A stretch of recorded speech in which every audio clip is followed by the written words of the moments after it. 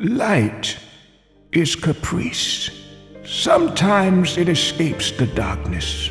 Sometimes it hides in it. Sometimes it engulfs us, keeping us warm. Other times it desiccates us with absolute unpity. Wherever the light may lead, a beast awaits. You shall be king, Travis.